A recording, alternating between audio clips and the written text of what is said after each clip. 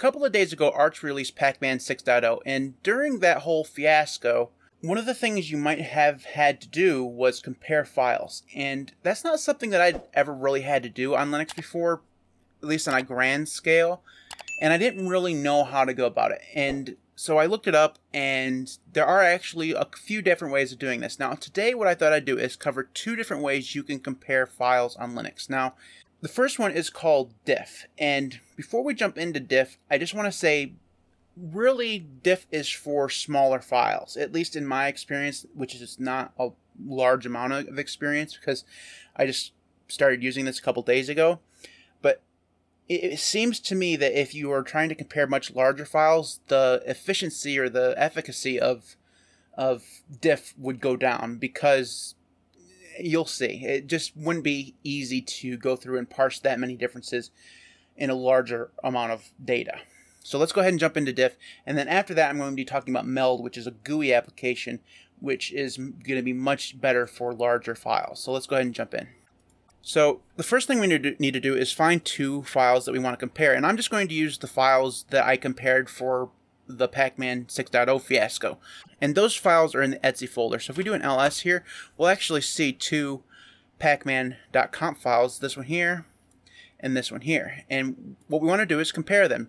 And we can do that using the diff command. So we'll do diff pacman.conf and pacman.conf.pacnew. And then we just hit enter. Now, let me zoom in here a little bit.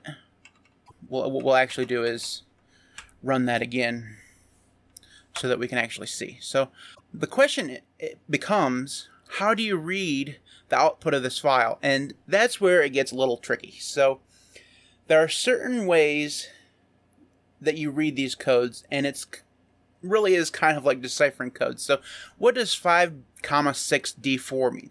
So, those numbers at the beginning refer to the first file, always the first file. So, in this case, it's pacman.conf. The number, the number after the letter always refers to the second file. So, in this case, pacman.conf.pacnew. The letter in between changes. As you can see, we got a D, we got a C, there's another C. Uh, you might also find an A here somewhere, but I don't have an A, so I can't show you that. The question is, what do those mean? So D in this situation means deleted.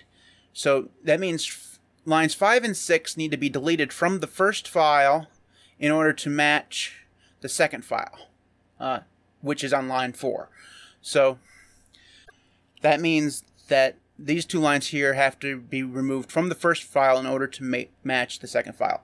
It's like I said, this is not the easiest thing to decipher because it's, I mean, it looks weird, right? And it's kind of complicated. So the letter C means that the line in the first file needs to be changed to match the file line in the second file. So what we, this means is we need to change line 33 or 35 in the first file to match the second file, uh, which is on line 33. Again, it's really confusing.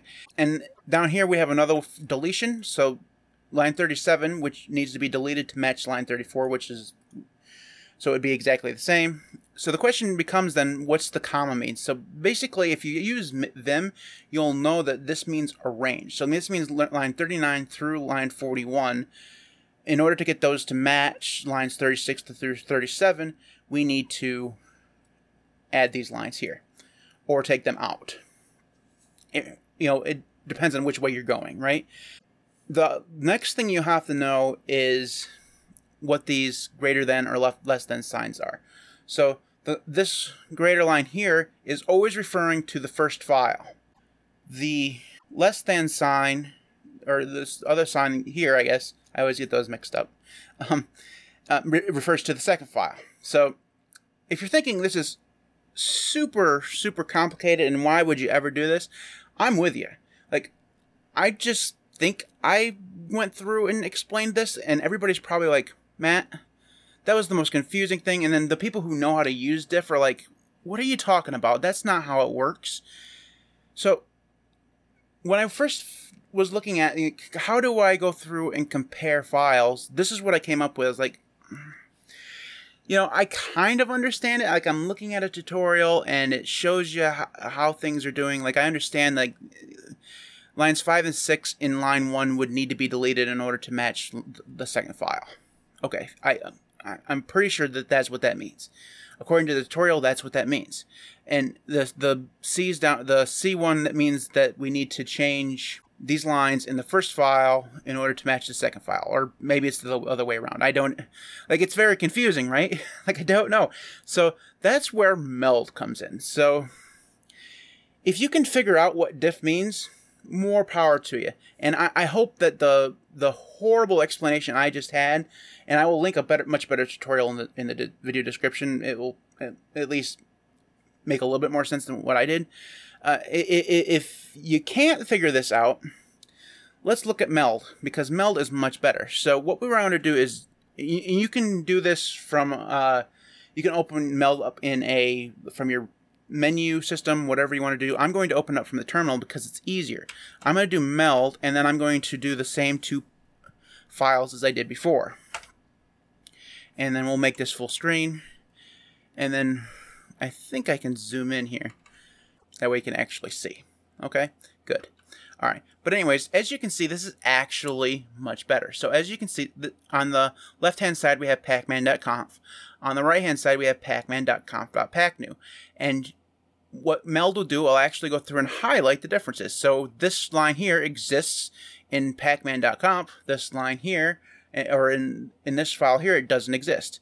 And here we have color. Now we can we see what diff was talking about earlier. So if we go back up here to diff, we can see that those two lines that were highlighted in Meld just a second ago exist in the first file and not in the second file. So that's why it wants you to delete them in order to get them to be the same. And the same thing with color here. We have one that is uncommented. We have one that is commented. So if we go back here, we have these two differences here. Okay, and that's the basically what it's saying is that it needs you to change one or the other. That's why it's there's a space in between here, and we have this uh, this symbol here referring to both files. The, the line here is exactly the same, just there's that one difference. Okay, and the same thing here with this here. We cannot check this space from within the uh, chroot environment. You know, this exists in one and not in the other. And same thing here. Now you'll notice the different colors. When something doesn't exist in one file and the other, it's green. When there's just a slight difference between them, like the, the line exists, but there's a difference. So in this case, some are uncommented, some are commented. Uh, then the color is blue. And those are the only changes or the only differences in these files. Now, if we go back to diff, the same thing here is we know that this line here, because it says D, doesn't exist in the first file because it shows us this here. And we know that the these lines here, because it uses the letter C, exist in the both files, but they're different. And that's just showing you the difference between them. So that is diff and meld.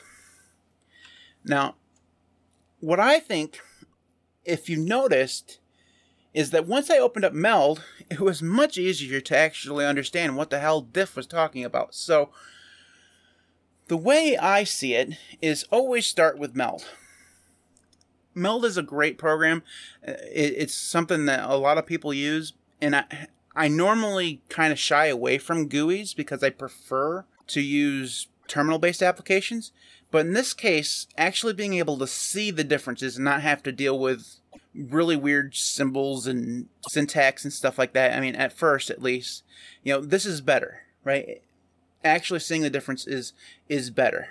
But also, because you've started on this one, because now I've you know looked at this, I can understand the output of diff way better than I could before I looked at melts. So in this case, I think it's a really it's a really good example of how a GUI application can kind of show you how certain Linux commands actually work in a more visual way and can, kind of lead you to actually learning more. So, for me personally, I probably will always use Meld because when I need to do this, I actually want to see those differences. But if you're just comparing a very two very short files, diff probably would do you just fine.